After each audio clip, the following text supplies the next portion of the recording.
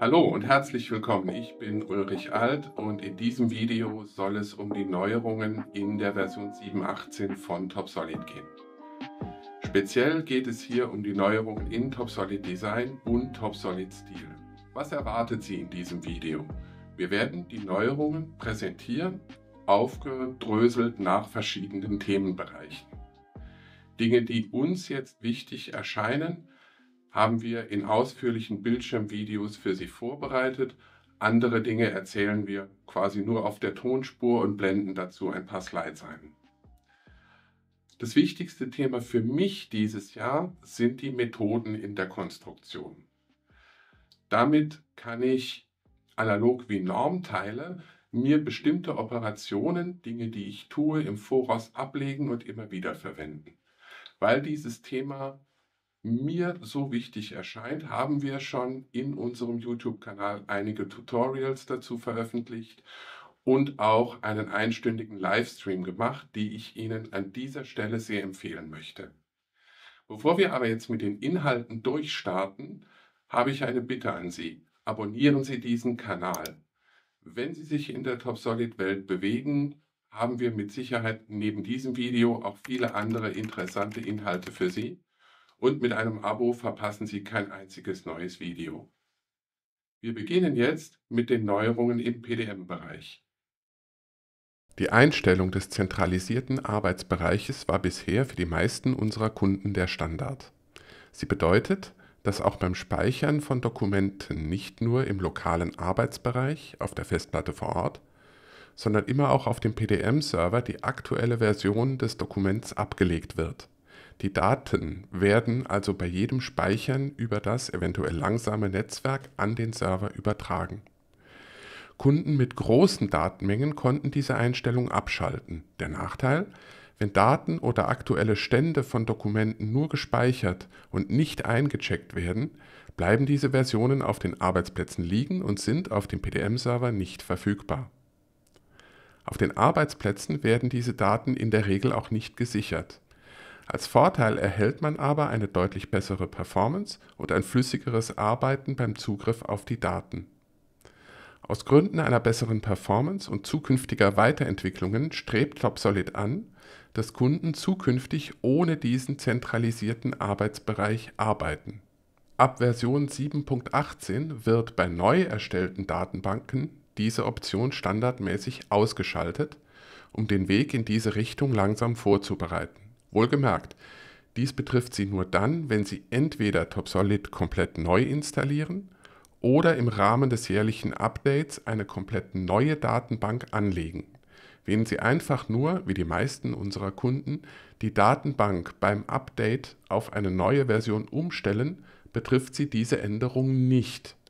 Sie können sich allerdings für Ihre Firma natürlich die Frage stellen, ob eine solche Umstellung Ihnen nicht allgemein, unabhängig von einem Versionswechsel, Vorteile brächte. Wir helfen Ihnen gerne bei der Einschätzung. Ab Version 7.19 wird für die Kommunikation zwischen dem TopSolid-Arbeitsplatz und dem PDM-Server das HTTP oder optional das HTTPS-Protokoll verwendet. Dieses Protokoll wird von den meisten Firewalls standardmäßig akzeptiert und macht die Administration damit einfacher. Gleichzeitig wird die Kommunikation zum Server so umgebaut, dass es eine zustandslose Verbindung gibt.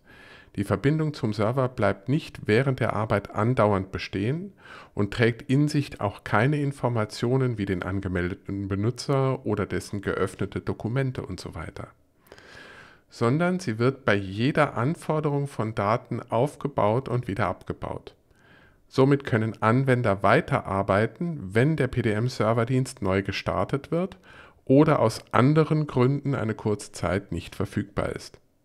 Es ist also möglich, in einem Dokument weiter Konstruktionen durchzuführen, solange man dabei keine Anforderungen an den PDM-Server hat. Insgesamt wird es damit sicherer und stabiler möglich, das PDM in der Cloud zu hosten und darauf zuzugreifen, da jetzt kurze Verbindungsabbrüche keine großen Auswirkungen mehr haben und der PDM-Serverdienst bei Ausfällen einfach auf einer anderen Maschine neu gestartet werden kann. Das waren jetzt einige Themen, die die Serverseite von PDM betreffen. also Änderungen, die die Anwender nicht direkt bemerken. Es gibt aber auch in der Oberfläche von Top-Solid Design Änderungen, die mit dem PDM-System zu tun haben. Insbesondere geht es darum, dass man bessere Such- und Filtermöglichkeiten bekommt, damit man schneller findet, was man sucht. Das Projektefenster enthält jetzt Suchfilter für alle Spalten mit der Möglichkeit zu filtern. Dadurch können Projekte schneller gefunden werden. Mit den Filter-Icons kann zusätzlich nach verschiedenen Kriterien gesucht werden.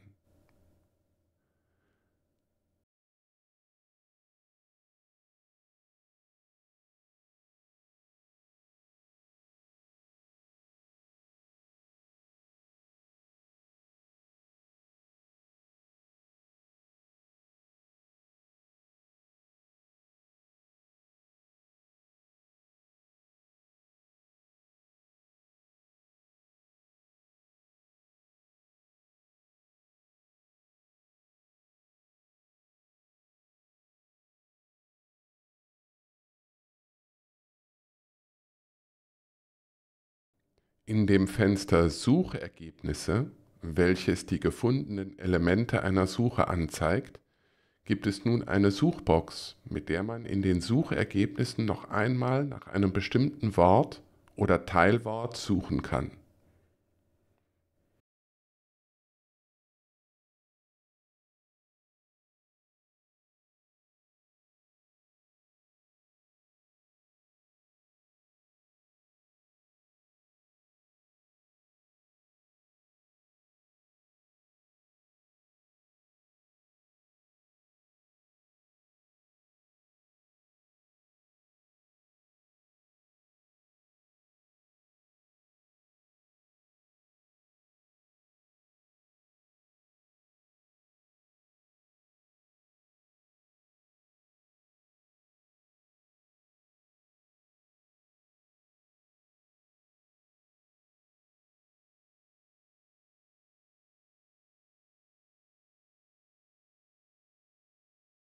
Wenn Sie vorher einem Bauteil oder Baugruppendokument ein Hintergrunddokument hinzufügen wollten, musste dieses Hintergrunddokument immer parallel zum Hauptdokument geöffnet sein.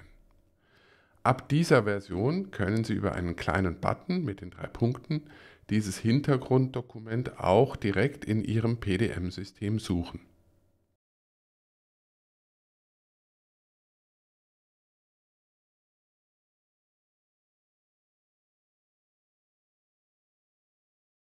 Passwörter der TopSolid-Anwender werden in der SQL-Datenbank in der Tabelle dbo.users gespeichert.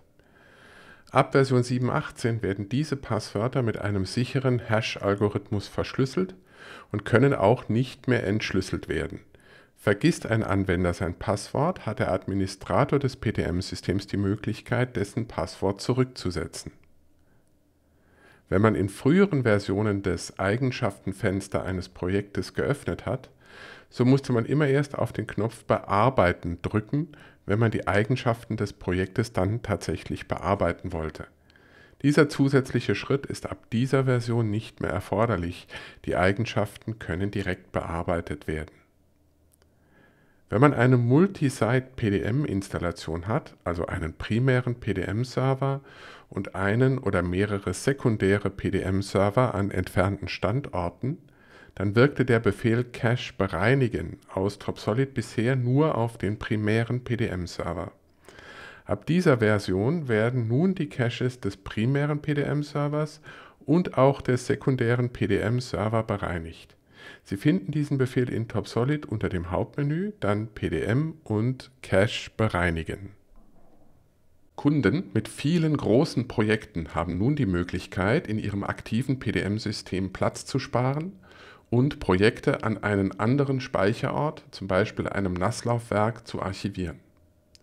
Für jeden einzelnen Vault wird im Admin-Tool des PDM-Servers separat eingestellt, wohin die archivierten Daten dieses Vaults abgelegt werden sollen.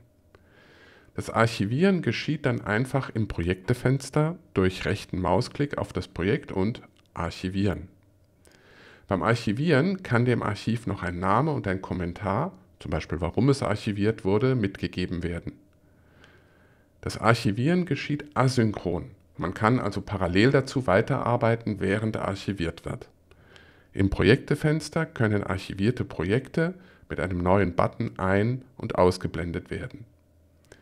Beim Archivieren werden die Daten aus dem Vault in das Archivverzeichnis verschoben, bleiben aber im PDM sichtbar. Beim Zugriff erhält der Anwender eine Meldung, dass die Daten archiviert sind. Beim Öffnen eines archivierten Dokuments erhält man zwar eine Fehlermeldung, aber man kann sich die Struktur im Projektfenster anschauen. Als Gegenpart dazu gibt es den Befehl wiederherstellen, der die Daten in den Vault wiederherstellt. Wichtig dabei, ein Archiv kann nur in das PDM wiederhergestellt werden, in dem es erzeugt wurde. Es kann nicht in ein neues, leeres PDM wiederhergestellt werden. Ein Archiv ersetzt also in keiner Weise ein vernünftiges Backup des PDM-Systems. Wird über das Admin-Tool des PDM-Servers eine Sicherung erstellt, so enthält diese Sicherung keine archivierten Daten. Diese archivierten Daten müssten dann gegebenenfalls gesondert gesichert werden. An der Bedieneroberfläche hat es einige Änderungen gegeben, die den Komfort beim täglichen Arbeiten mit TopSolid steigern. Insbesondere kann die Oberfläche jetzt auf den Dark Mode umgestellt werden, der Augen und auch die Batterie schont. TopSolid kann ab dieser Version im Dark Mode, also mit dunklen Hintergründen, betrieben werden, was sich augenschonend und auch positiv auf die Laufzeit der Batterie auswirkt. Unter dem Menü Extras Optionen, dann Farben, können verschiedene Farbthemes eingestellt werden. Jede einzelne Farbe der Themes kann zusätzlich individuell angepasst werden.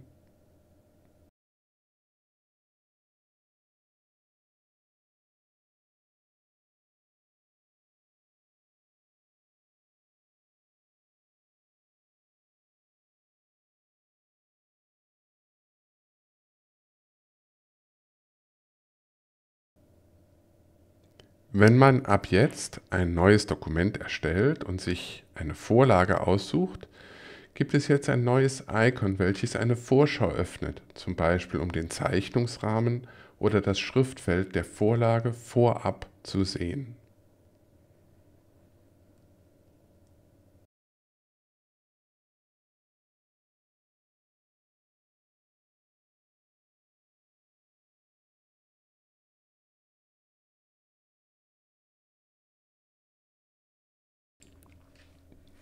Wenn man in 3D-Dokumenten die Maus bewegt, erscheinen unten in der Statusleiste die Koordinaten. Mit dem neuen Button daneben kann man jetzt ein anderes Referenzkoordinatensystem als das absolute Koordinatensystem angeben. Die Idee hierfür kommt ursprünglich aus dem CAM-Umfeld, umgesetzt wurde es aber jetzt in allen 3D-Dokumenten.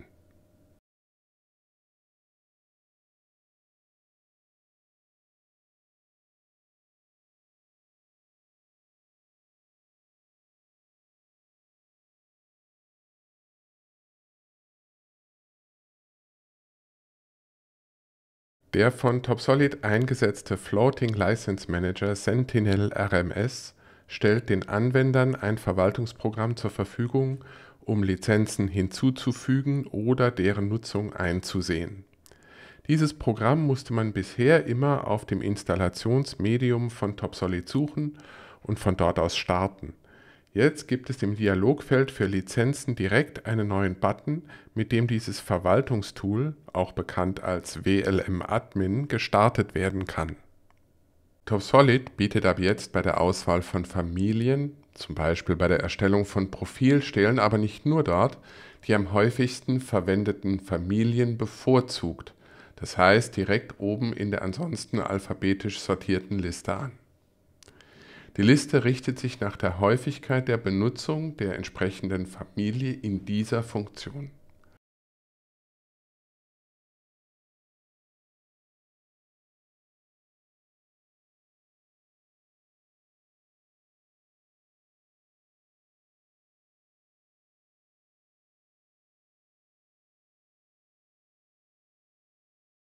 Unter Extras Optionen dann unter Allgemein und häufig verwendete Dokumente kann die Anzahl der auf diese Weise hervorgehobenen Familien eingestellt werden.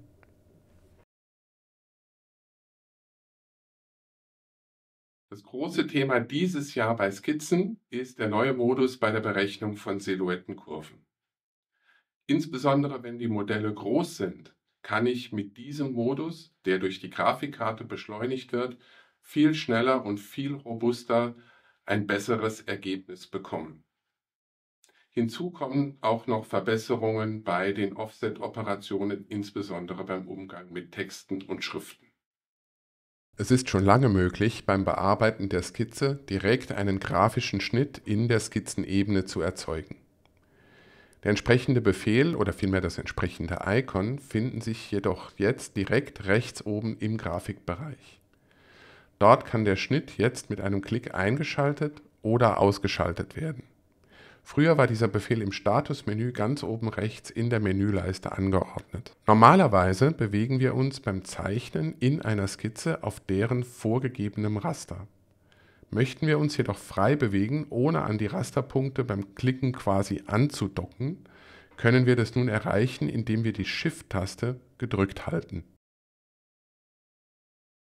Die Funktion zur Berechnung der Mittelkurve versucht nun mehr als früher eine Kontur aus Linien und Kreisbögen zu erstellen und so wenig wie möglich auf die Erstellung von Spline-Kurven zurückzugreifen, die manchmal auch einfach unnötig waren.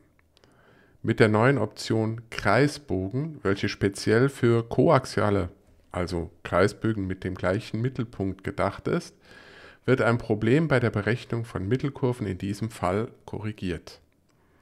Beim Aufrollen eines Textes auf eine konische, also kegelförmige Fläche sinkt mit den vorhandenen Optionen manchmal der Text ab. Es gibt jetzt einen neuen Modus in der Aufrollenfunktion namens lineares konisches Aufrollen, welcher die UV-isoparametrische Anordnung der Fläche besser berücksichtigt. Fügt man zu einer Skizzenbemaßung über deren Kontextmenü eine Information hinzu, erschien bisher nur der Name der Information neben dem Maßtext.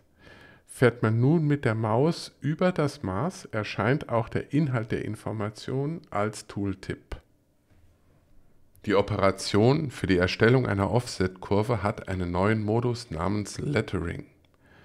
Er ermöglicht das direkte Auswählen von mehreren Profilen, zum Beispiel einer Schrift, aber auch die Auswahl eines ganzen Textes direkt als ein Element. Wichtig dabei, wenn sich der Text ändert, also Profile dazukommen oder verschwinden, wird dadurch die Auswahl nicht ungültig, weil man ja auf den Text referenziert hat und nicht auf die einzelnen Profile.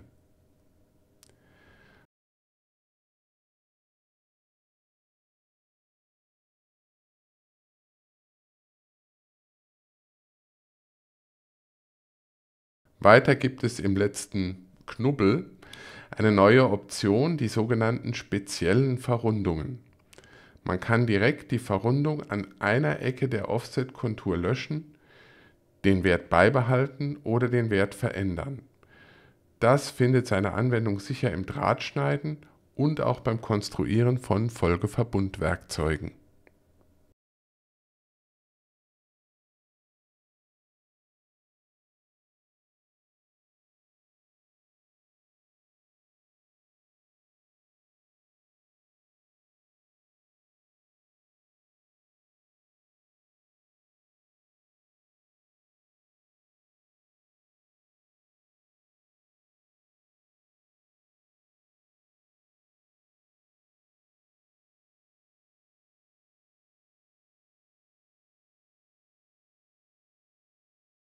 Es gibt bei den Skizzen eine neue Option bei der Silhouettenfunktion Grafisch. Die Berechnung der Silhouettenkurve erfolgt mit Hilfe der Grafikkarte. Man kann einen Bereich für die Berechnung wählen und die Vorschau ein- und ausschalten. Man kann innere Konturen ein- und ausschalten, das Profil schließen und direkt einen Offset-Wert angeben für die Berechnung einer Silhouettenkurve mit Abstand zum Teil Es gibt auch eine Einstellung Rastergröße oder Grid Size, welche die Genauigkeit der Silhouette beeinflusst, abgestuft von grob nach fein.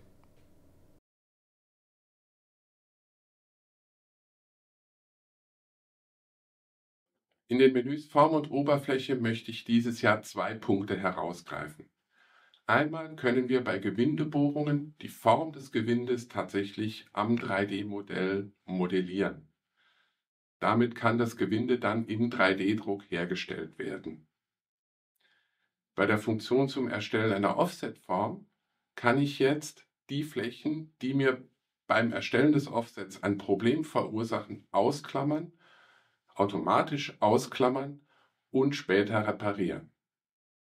Beim Erstellen einer Tasche können die optionalen vertikalen Radien jetzt nach Innenradien und Außenradien getrennt gesteuert werden, analog der Funktion Verrundung in der Skizze.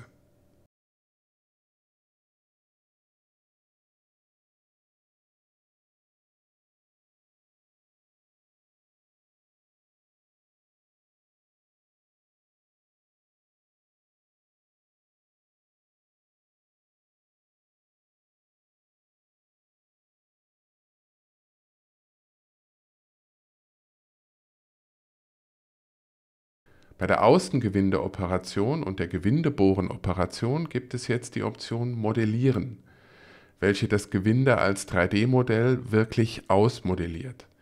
Man erhält eine Warnmeldung, dass dies viel Performance braucht und nur für den Fall des 3D-Drucks gedacht ist. Es werden nur zylindrische Gewinde unterstützt, keine konischen Gewinde. Das Querschnittsprofil für die Zähne wird im Gewindestandarddokument festgelegt eine Bohrung mit modelliertem Gewinde entspricht dabei etwa 1 MB Speicherplatz.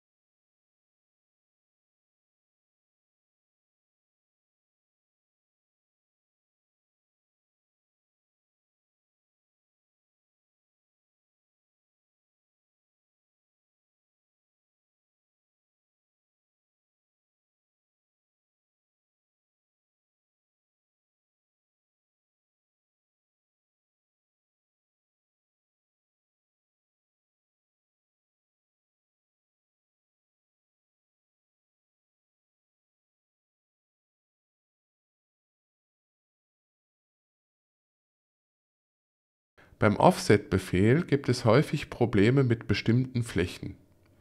Im Bereich Zu entfernende Flächen gibt es nun einen neuen Knopf, um diejenigen Flächen auszuschließen, die einen Fehler verursachen.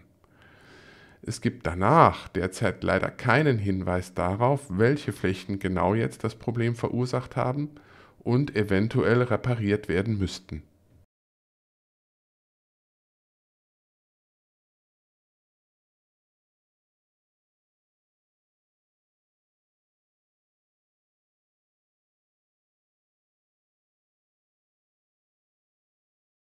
In der Funktion Fläche kopieren gibt es eine neue zusätzliche Option namens Öffnungen. Dort können alle oder einige der inneren Schleifen einer kopierten Fläche geschlossen werden. Die Idee kommt ursprünglich aus dem Wood-Bereich, wenn man Panel erstellen will auf einer Fläche, aber die Bohrungen nicht mitnehmen möchte. Die Funktion findet aber sicher auch Anwendung in anderen Bereichen.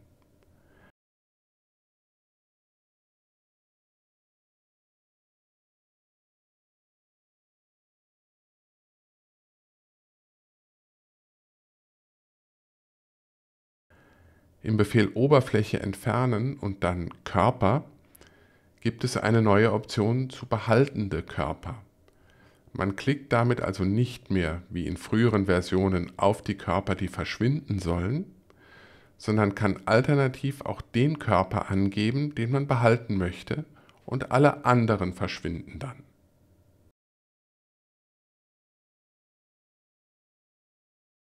Wenn man die Funktion Blech auf Skizze verwendet, um Lochbleche oder allgemein Bleche mit vielen Konturen zu erstellen, so gibt es nun die neue Option Schnell, wodurch diese Operation stark beschleunigt wird. Diese Option ist ab dieser Version auch standardmäßig immer eingeschaltet. Bei den Blecheigenschaften gibt es eine für die Benutzer unsichtbare interne Optimierung, durch die die Berechnung schneller erfolgt. Es werden dabei nicht benötigte Eigenschaften tatsächlich gelöscht, statt wie bisher nur ausgeblendet. Baugruppen waren der Bereich, in dem in diesem Jahr in TopSolid Design am meisten passiert ist. Die meisten Änderungen davon wiederum gehen ganz klar in Richtung Stahl- und Metallbau. Aber auch wenn Sie in der Baugruppe schon mit den Eigenschaften der Bauteile in der Stückliste spielen wollen, werden Sie einige Verbesserungen finden. Beim Einfügen von Profilstählen oder anderen Langbauteilen gibt es jetzt im Grafikbereich drei neue Icons. Hat man sich für die Option entlang einer Linie oder zwei Punkte für die Platzierung des Stahls entschieden, kann man mit einem Icon einen grafischen Schnitt mit einer Box aktivieren und mit einem weiteren Icon die Größe des Ausschnitts um den neuen Profilstahl bestimmen. Mit einem dritten Knopf kann auf den Querschnitt des neu eingefügten Profils gezoomt werden. Die neue Option namens Automatischer Schnitt auf Profil setzt alle drei Optionen auf einmal um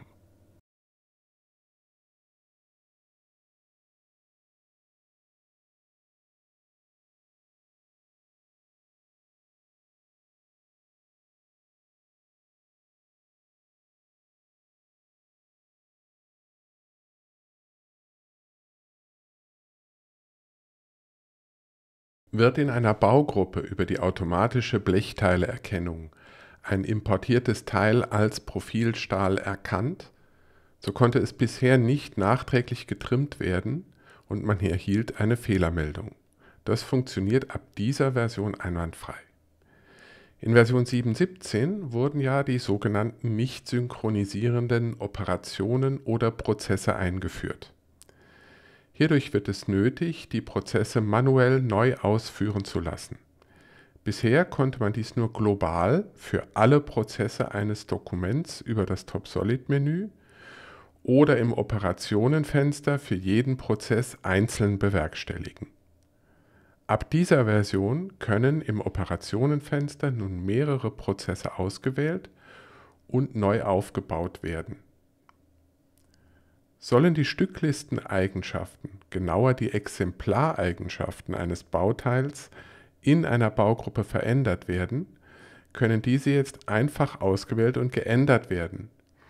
In den vorhergehenden Versionen erhielt man in diesem Fall eine Warnmeldung. Beim Gärungsschnitt mit Profilen gibt es jetzt mehrere Möglichkeiten, die Begrenzungs- oder Schnittebene genauer als vorher festzulegen Einmal kann die winkelhalbierende Ebene der Achsen der Profile verwendet werden oder die winkelhalbierende Ebene jeweils an den Innenseiten oder Außenseiten des Profils. Ebenso gibt es eine automatische Option, wo die Schnittebene an die Profilform angepasst wird. Bei gekrümmten Profilstählen gibt es eine neue Option für die Trimmung entlang einer Kurve und man kann so den Schnitt besser an die Kontur anpassen. Die frühere Funktion Ebenes Trimmen wurde ausgebaut und heißt jetzt einfach nur noch Trimmen. Sie ermöglicht nun das Trimmen an beliebigen Elementen, also zum Beispiel an einer Ebene, an einer anderen Form, an einer Skizze, jeweils mit und ohne Aufmaß. Beim Trimmen an einer Skizze wird der höchste bzw. tiefste Punkt gesucht und für die Begrenzung verwendet.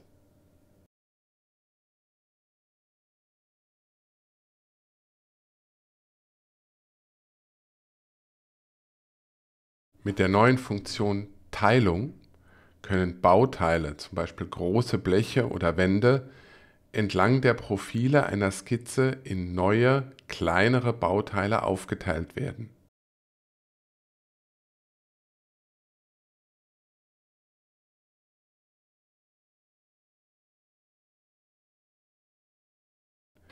Man wählt, ob man nur die inneren, äußeren oder beide Teile der Skizze behalten will.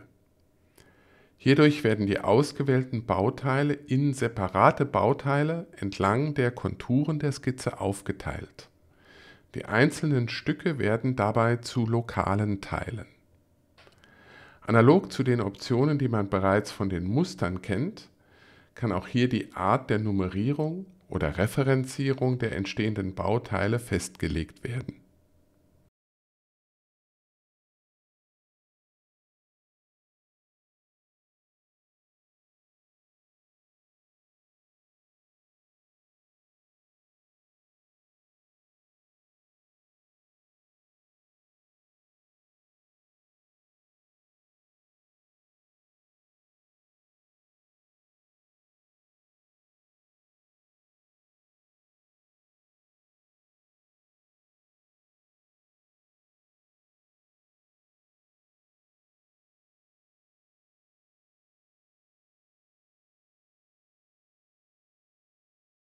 Lokale Bauteile und Baugruppen können jetzt mit einem symmetrischen Muster gespiegelt werden.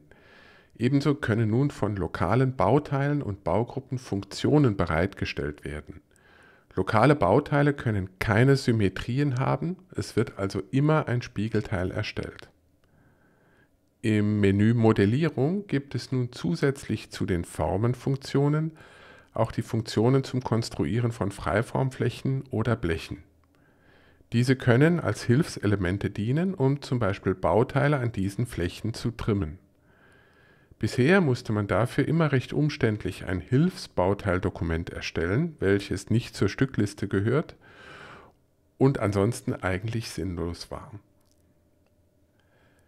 Möchte man verschiedene Komponenten derselben Familie ersetzen, so wurden bisher immer alle ersetzt. Jetzt kann man die zu ersetzenden Bauteile auswählen und bekommt eine Vorschau des Ergebnisses angezeigt. Ebenfalls neu sind Auswahlbuttons hinzugekommen, mit denen alle Komponenten oder alle Komponenten mit diesem Code ausgewählt werden können. In einer Stückliste im Bauteilefenster einer Baugruppe können die Eigenschaften der Bauteile direkt verändert werden.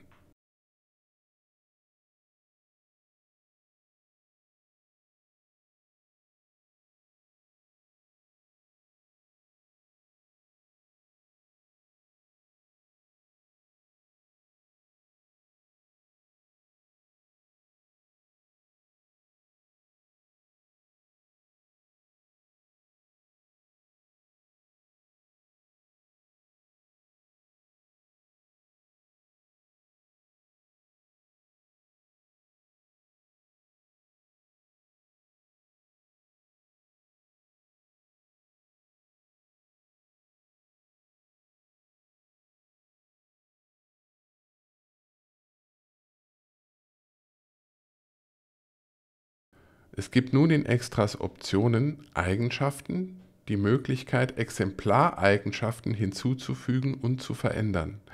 Möchte man eine solche Eigenschaft ändern, wird direkt der entsprechende Befehl in der Oberfläche zur Änderung der Exemplareigenschaften gestartet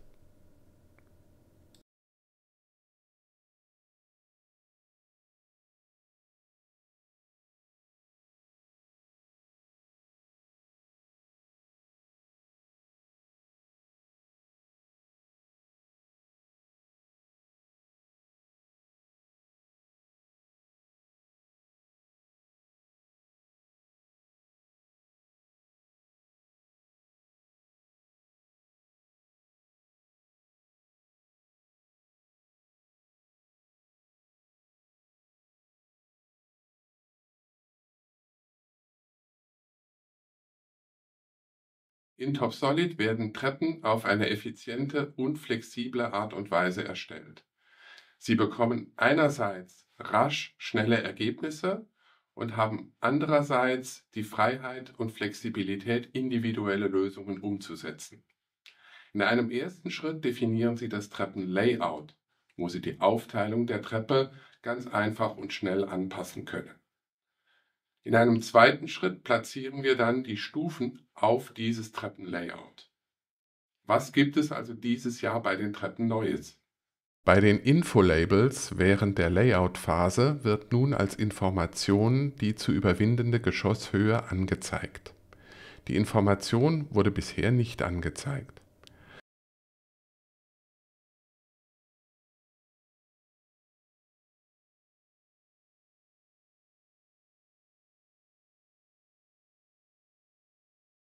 Es gibt eine neue Option für die Erstellung von Wangen für die Treppe, entweder als Skizze oder als Fläche, unter der Treppe oder seitlich, dann entweder links oder rechts und so weiter. Die Stufen werden auf Wunsch an der Wange getrimmt. Beim Hinzufügen einer neuen Wange sind die Einstellungen der Treppe vorgegeben und es muss nur die Einstellung für jeden Treppenlauf geändert werden die erzeugte Geometrie dient als Hilfe für die Bestimmung der endgültigen Größe und Form der Wange, sozusagen als Hilfsgeometrie für die weitere Konstruktion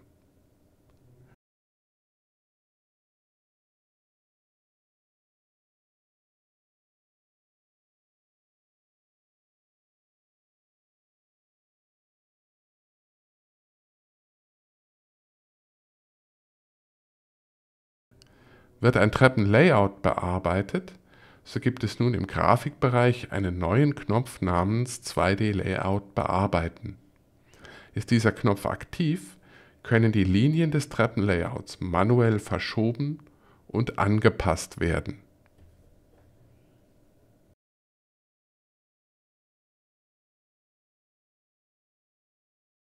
Mit der Workspace-Funktionalität ist es möglich, die Arbeit an einer einzigen Baugruppe auf mehrere Konstrukteure zu verteilen, Bauräume zu definieren und den einzelnen Teilbereichen Kontext aus der übergeordneten Baugruppe mitzugeben.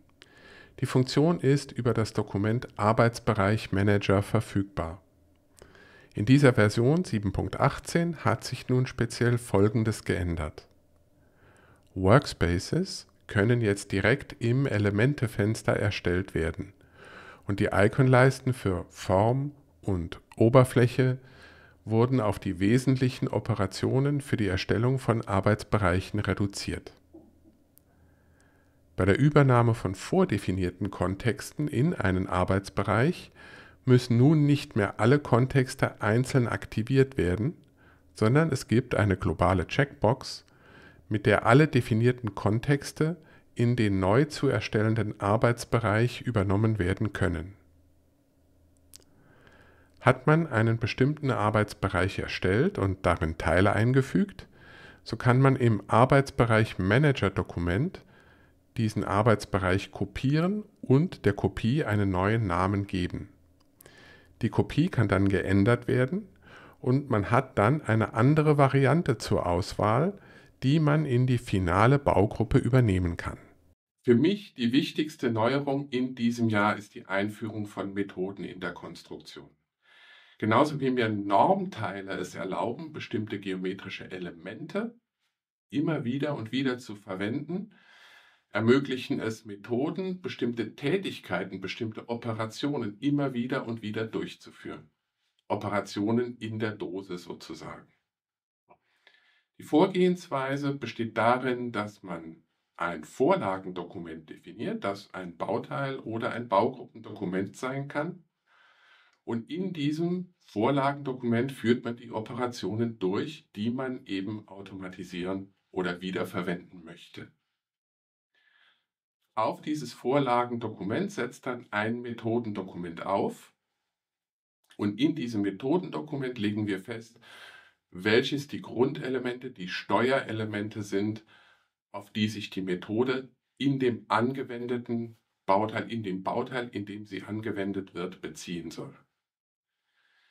Wir haben zu diesem Thema schon einige Tutorials gemacht, von denen wir auch jetzt einige zeigen werden.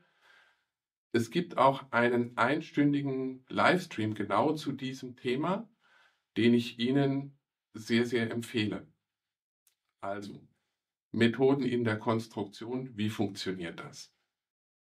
In diesem Beispiel für die Erstellung einer Methode soll es darum gehen, wie wir ein Bohrbild, zum Beispiel ein Anschlussbohrungsbild für Hydraulikzylinder, Hydraulikkomponenten oder Anschraubbohrbilder in einer Methode hinterlegen können.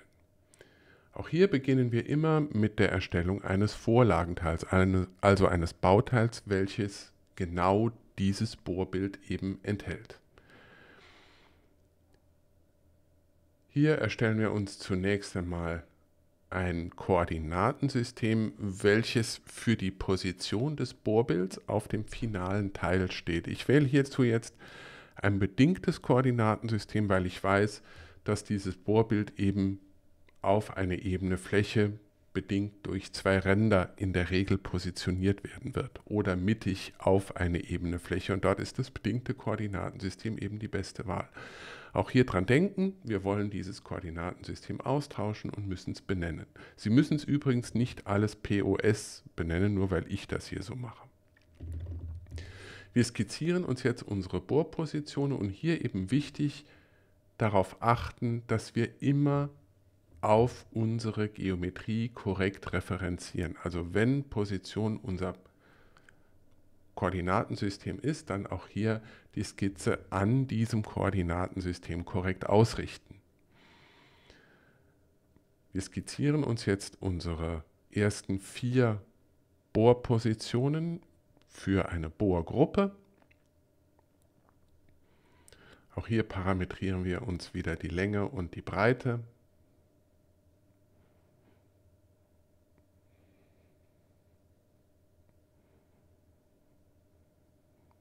Wir können hier sagen, dass diese Punkte, diese Eckpunkte nicht innen sein sollen. Das heißt, sie sollen sichtbar bleiben, greifbar bleiben, nachdem wir die Skizze beendet haben oder abgeschlossen haben. Aus den vier Linien machen wir Hilfslinien.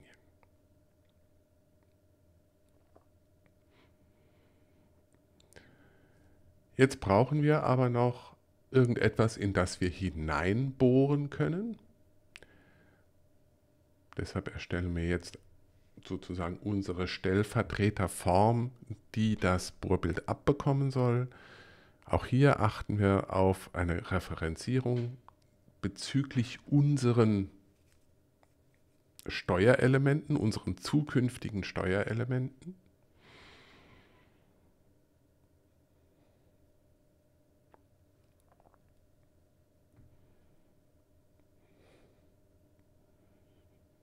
Und jetzt ist immer der gleiche Mechanismus. Alle Parameter, die ich variabel halten möchte, muss ich benennen. Ich kann so viele Parameter variabel halten, natürlich, wie ich möchte.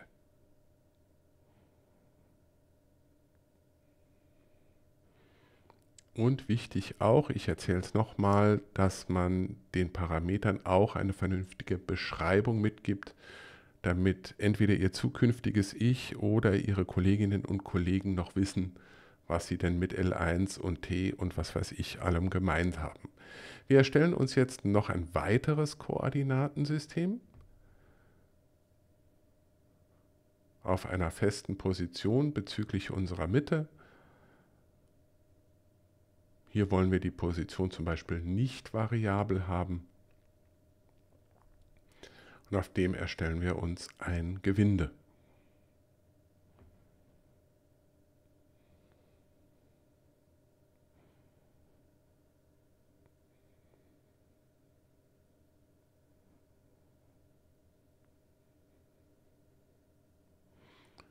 Zu guter Letzt erstellen wir uns noch in der Mitte von unserem Bohrbild eine große ja, Wellenbohrung zum Beispiel.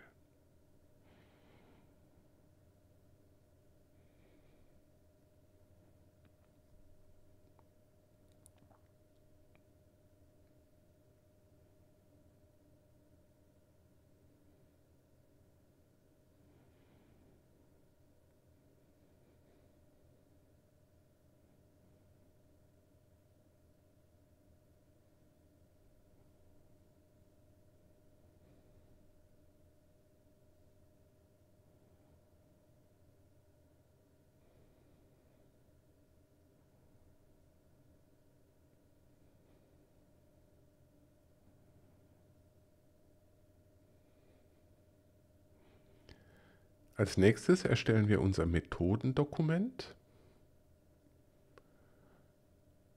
unsere Vorlage ist die Vorlage Bohrbild und wir müssen jetzt sagen, was wir denn bei der Anwendung der Methode gefragt werden wollen. Also das wäre zum Beispiel, welche Form in unserem Bauteil soll das Bohrbild abbekommen und wo soll es hin und was sind zum Beispiel die Durchmesser der einzelnen Bohrungen. Also unsere Form ist ein Steuerelement, die Skizze nicht, aber zum Beispiel die Positionierung ist eins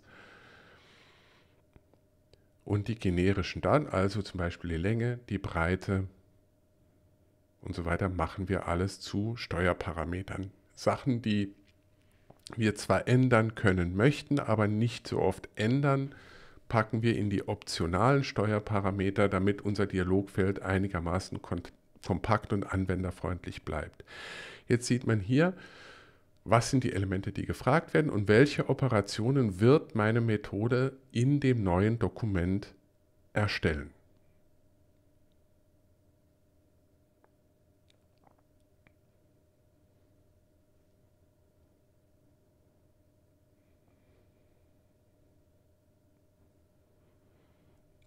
Wir erzeugen jetzt ein Testbauteil.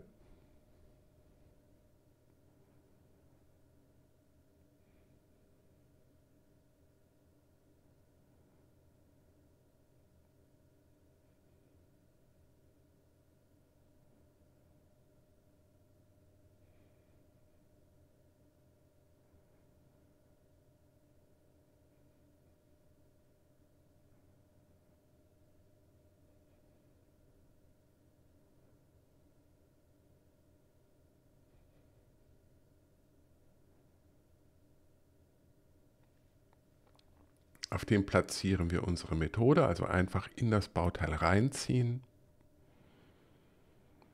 Was ist die Position?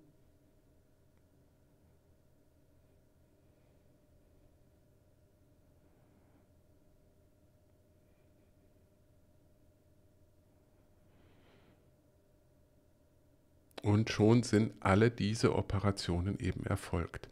Wir können unser Bezugskoordinatensystem natürlich noch nachträglich verändern und zum Beispiel drehen, um so eben die Orientierung des Bohrbilds zu verändern. In den vorherigen Versionen waren die Indexregeln für die automatische Vergabe von Indexnummern an die bereitgestellten Funktionen der Bauteile geknüpft. Es gibt jetzt hier auch Zugriff auf die definierten Filterdokumente und man kann auch diese als Kriterium für die Vergabe von Indexnummern verwenden. Natürlich kann man aber immer noch die Familie aussuchen, zu der ein Bauteil gehört, um seinen Index zu bestimmen. Die ausgewählten Filter bei der Baugruppe für die Stückliste haben nun einen Schalter, der es ermöglicht, Exemplareigenschaften zu berücksichtigen oder nicht zu berücksichtigen.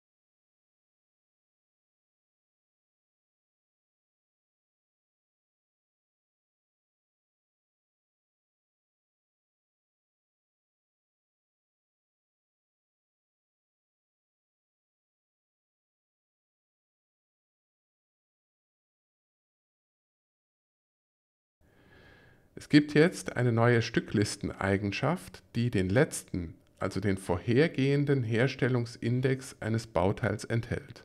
Der Hintergrund, wenn ein Bauteil kurzfristig geändert wird und schon Zeichnungen oder andere Dokumente mit dem alten Herstellungsindex rausgegeben wurden, kann man über diese alte Nummer eine Zuordnung zu diesen Dokumenten treffen.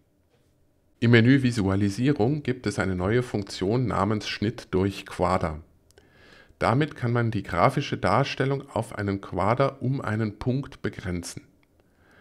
Außerhalb des Quaders liegende Elemente behindern dann nicht mehr die Sicht auf den Bereich, in dem konstruiert wird.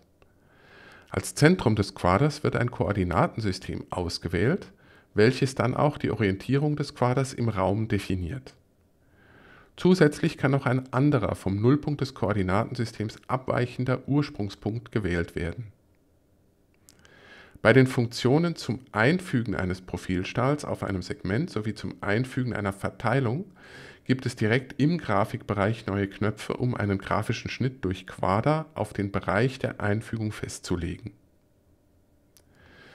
Das Streuungsvolumen ist ein Bauteildokument, welches in das Studio-Dokument eingefügt wird unter dem Menü Visualisierung können wir es als Streuungsvolumen definieren und dessen Farbe und den Koeffizient verändern.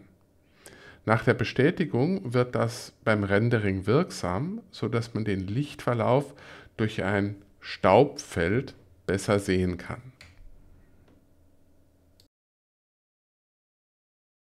Beim fotorealistischen Rendering ist es nun nicht mehr nötig, eine spezifische Kamera zu definieren. Man kann jetzt einfach die aktuelle Ansicht oder eine definierte Kamera rendern und sich in dieser Ansicht einen Bildausschnitt aussuchen. Beim Analysieren eines Musters wird nun die Anzahl der Instanzen im Muster angezeigt. Mit dem neuen sogenannten kombinierten Muster können neue Muster auf der Basis von vorhandenen Mustern erstellt werden die vorhandenen Muster können durch eine Addition oder eine Multiplikation miteinander verknüpft werden. Wichtig dabei, die Reihenfolge der Muster bei der Kombination hat einen Einfluss auf das Ergebnis. Die neue Funktion zur Musteroptimierung ermöglicht es, die Reihenfolge der Wiederholungsinstanzen in einem Muster zu beeinflussen. Ausgehend von einer Ebene können mehrere Methoden für die Reihenfolge ausgewählt werden: Sweeping, optimiertes Sweeping oder Optimierung. Angezeigt wird auch die Reihenfolge der Instanzen in Form eines Weges. Die so optimierten Muster können dann in einer CAM-Bearbeitung verwendet werden. Kleiner Tipp: Ist das Muster im Fertigteilmodell definiert, kann man mit dem gelben Plus die Option Muster auswählen und dann das Muster im Grafikbereich auf dem Fertigteil auswählen.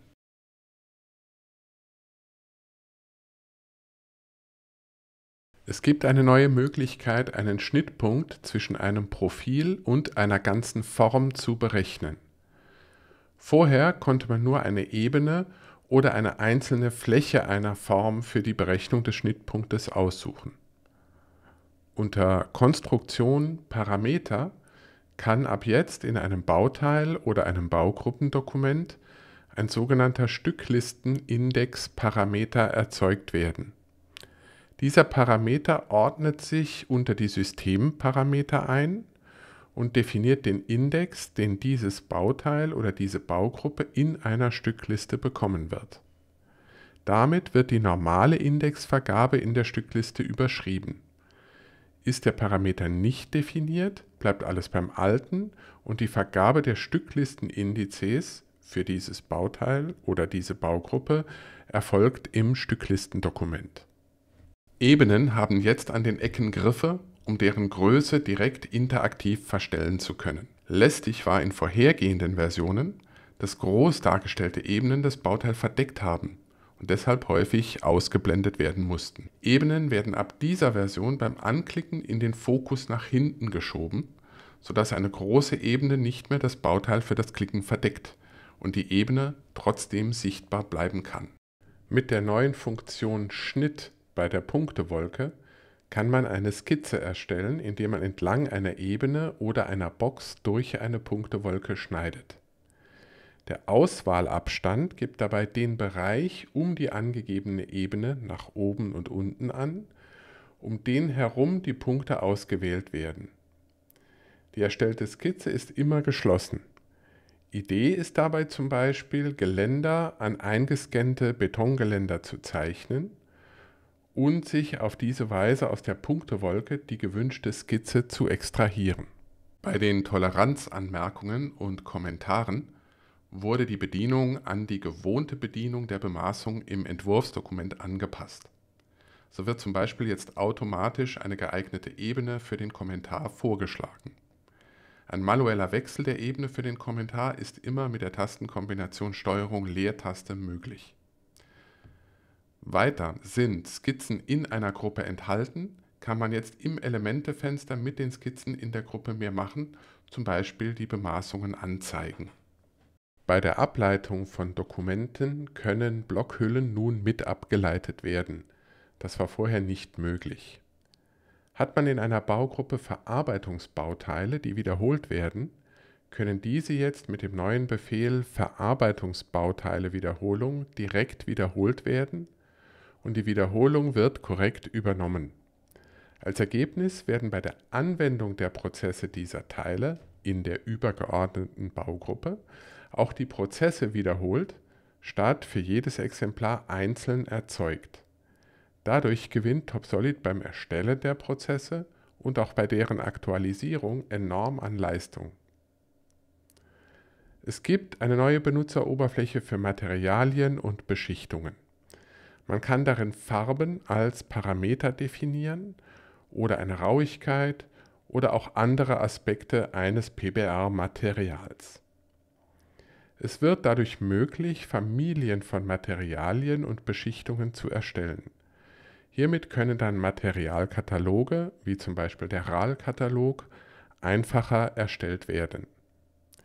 Bei der Zuordnung eines solchen Materials oder einer solchen Textur aus einer Familie an ein Bauteil wird wie gewohnt die Familie ausgewählt und dann die Steuerparameter eingegeben oder der passende Code aus der Tabelle ausgewählt.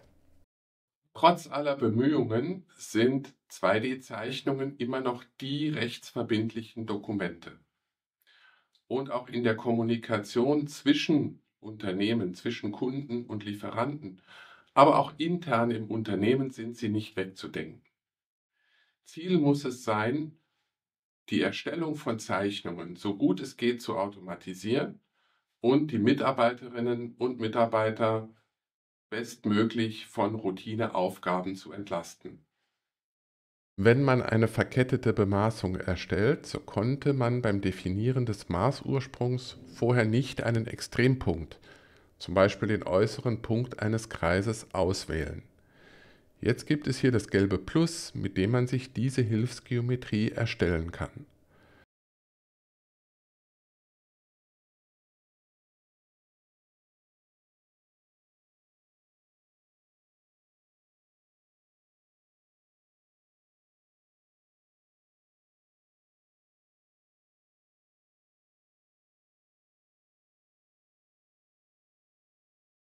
Bei der Funktion der automatischen zusammengesetzten Bemaßungen gibt es eine neue Option namens Bemaßungsendpunkte für horizontale und vertikale Linien. Wendet man dies auf ein Teil, zum Beispiel mit einer Nut an, werden bei den runden Enden die äußeren Punkte der Nut erkannt und mitbemaßt. Durch Rechtsklick auf eine Stückliste in einem Entwurfsdokument bekommt man jetzt die Option, das Stücklistendokument aus der Zeichnung heraus zu öffnen. Gehen Sie dafür im Kontextmenü auf den Punkt Andere und dann Dokument öffnen. Bei der Definition einer Projektionsgruppe in einem Entwurfsdokument gibt es die neue Option Definition der verbundenen Bauteile projizieren. Diese Verbesserung für den Wood-Bereich ermöglicht es, ein Bauteil vor seiner Bearbeitung durch Prozesse in der Baugruppe darzustellen, also wie das Teil vor seinem Einbau in eine Baugruppe ausgesehen hat. In Stücklistendokumenten können jetzt in einer Formelspalte QR-Codes erzeugt werden, zum Beispiel aus der Beschreibung eines Bauteils. Die Option QR-Code anzeigen muss dann noch für die Spalte aktiviert werden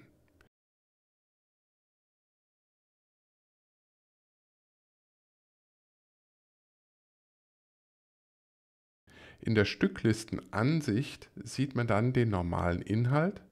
Fährt man mit dem Mauszeiger darüber, erscheint der QR-Code. Fügt man diese Stückliste dann in ein Entwurfsdokument ein, so werden die QR-Codes in der eingefügten Tabelle angezeigt.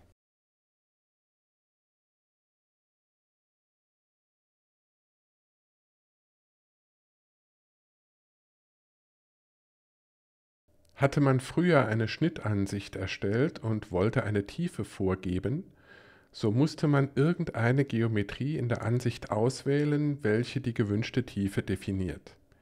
Dies kann man immer noch tun, aber es gibt jetzt zusätzlich die Möglichkeit, einfach eine Tiefe ausgehend von der Ebene des Schnittes zu definieren. Bei Bohrkommentaren konnte bisher nur die zylindrische Tiefe einer Bohrung bemaßt werden und bei der Definition des Bemaßungsstils stand nur diese Information zur Verfügung. Zusätzlich zur zylindrischen Tiefe gibt es ab dieser Version auch eine Information zur Gesamttiefe einer Bohrung, also der Tiefe einschließlich des Kegels. Der neue Dokumenttyp Bemaßungstoleranzstandard ermöglicht das Festlegen von eigenen Standardtoleranzen für Längen und Winkelmaße. Er kann in Bauteilen, Baugruppen und auch in Entwurfsdokumenten verwendet werden. Zuerst wird gewählt, ob wir uns auf Längen oder Winkel beziehen. Dann können für bestimmte Werteintervalle Toleranzen ausgewählt werden.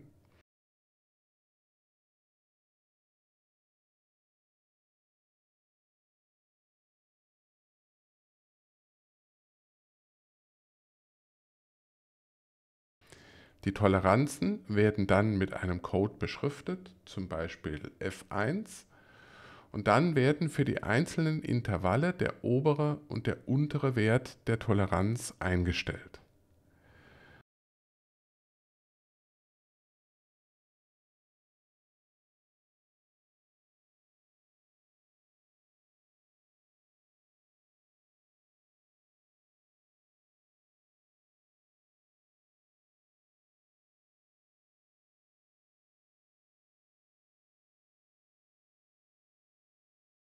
Wird eine Toleranz nun zugeordnet zu einem Maß im Bauteil einer Baugruppe oder einem Entwurf, kann man auf den gewünschten Maßtoleranzenstandard verweisen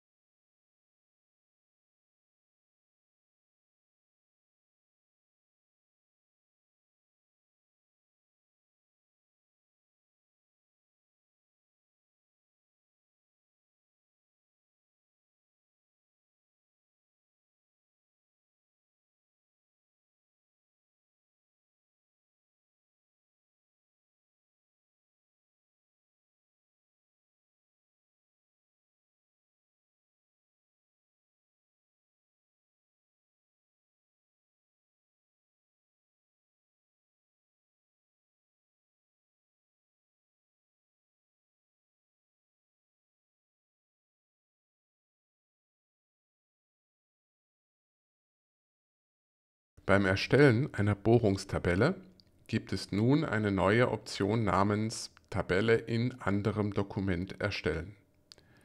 Man wählt dann aus, ob man ein neues oder ein bereits bestehendes Dokument verwenden möchte.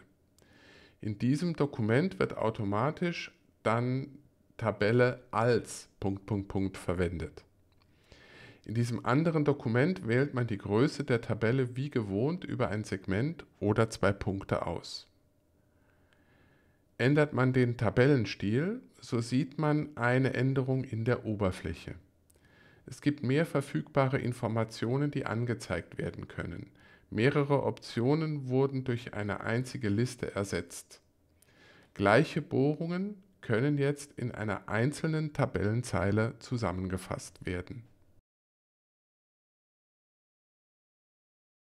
Ziel bei dieser Verbesserung ist es, für die gleichen Teile die gleiche Schraffur in der Zeichnung zu haben.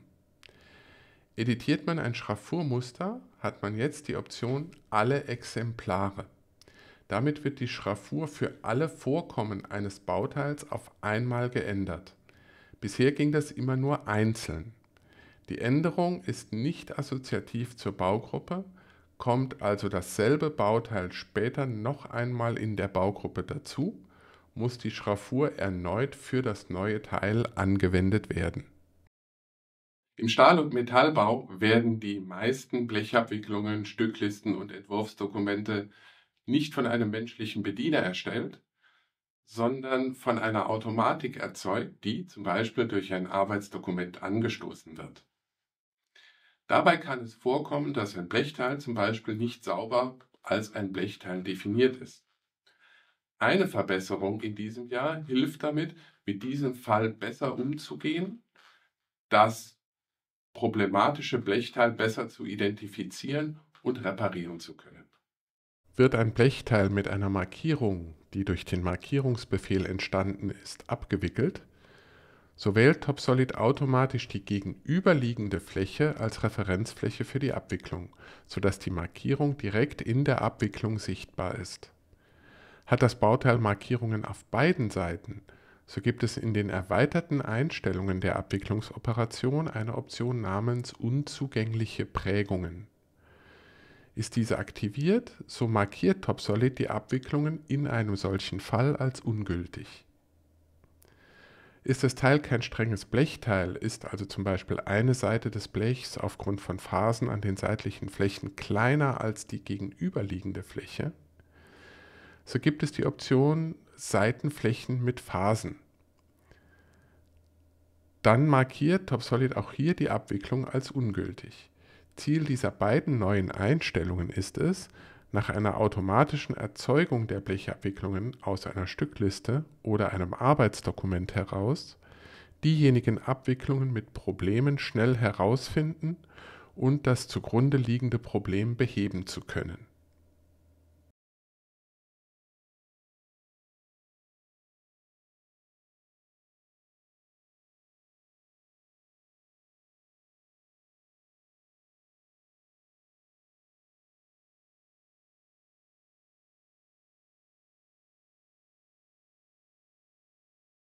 Bei der Option zur automatischen Erstellung von Blechabwicklungen, der sogenannten Mehrfachabwicklung im Stücklistendokument, gibt es die neue Option, dass bereits vorhandene Abwicklungen oder Entwürfe von Bauteilen nicht neu erstellt, sondern nur aktualisiert werden. Zusätzlich können überflüssig gewordene Dokumente, also solche von Bauteilen, die nicht mehr vorhanden sind, gelöscht werden eine neue Option für Arbeitsdokumente ermöglicht es, nur diejenigen Dokumente erstellen oder aktualisieren zu lassen, die sich auf neue oder geänderte Bauteile in der Baugruppe beziehen. Es müssen also nach einem Durchlauf des Arbeitsdokuments nicht mehr alle Dokumente gelöscht und das Arbeitsdokument erneut ausgeführt werden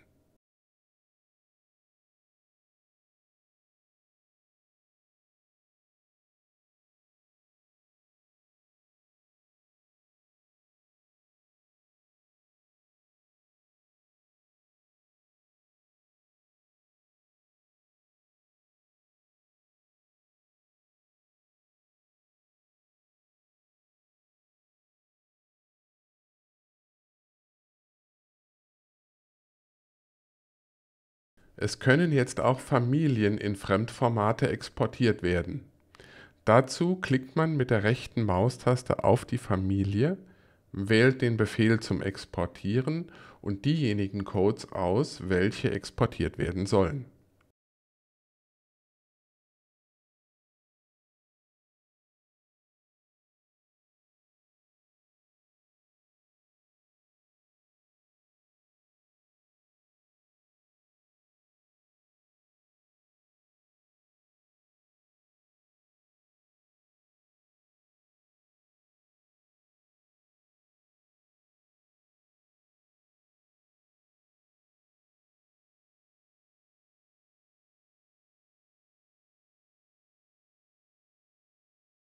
Wenn in einem Stücklistendokument mehrere Profilstähle zusammengefasst sind, können diese jetzt mit einem einzigen Befehl alle im Step-Format exportiert werden.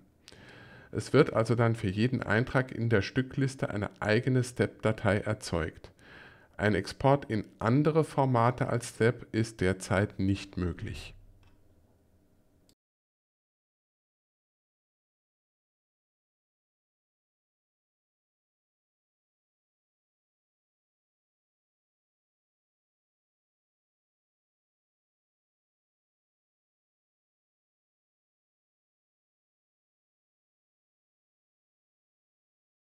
Es werden die Formate ASC und E57 unterstützt, um Punktewolken zu importieren. Beim Export im DSTV-Format wird nun auch der Schnittwinkel des Profils exportiert, bisher war das nicht der Fall. Beim PDF-Export einer Zeichnung können jetzt auch Layer mit exportiert werden.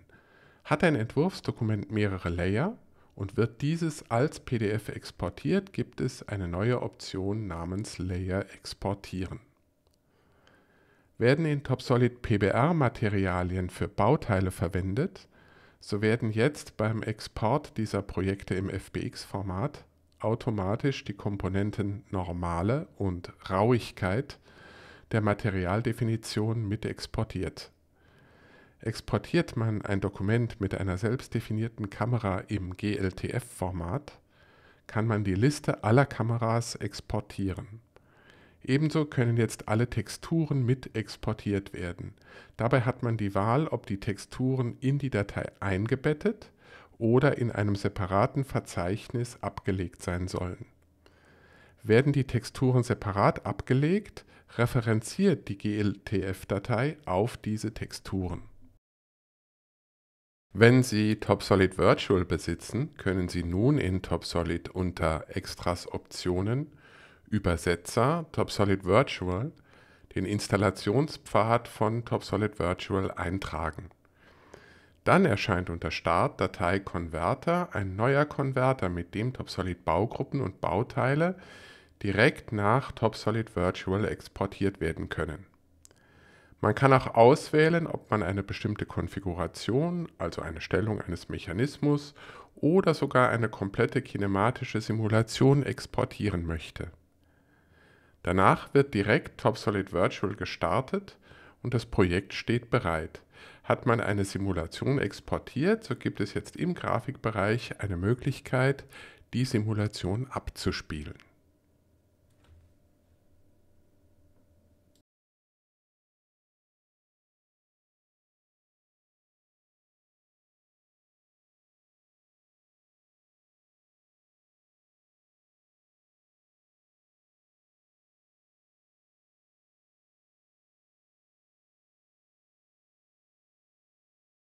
TopSolid Virtual ist ein faszinierendes Produkt von TopSolid. Sie können damit einfach und schnell beeindruckende Bilder und Präsentationen Ihrer Projekte erstellen und so Ihre Projekte besser an Kunden, Partner und Lieferanten kommunizieren oder rüberbringen. TopSolid Virtual arbeitet immer in Echtzeit, also kein langes Warten, kein Rendern, Sie haben sofort, immer unmittelbar sofort Feedback. Wir haben zu TopSolid Virtual einen Livestream gemacht, den ich Ihnen auch sehr empfehlen möchte, wenn Sie weiteres Interesse an TopSolid Virtual haben. Das waren sie, die Neuerungen dieses Jahr im Designbereich, Design- und Stilbereich 718 2024. Verpassen Sie auch nicht unsere Videos zu den Themen Tooling und CAM. ebenfalls in dieser Reihe. Tschüss.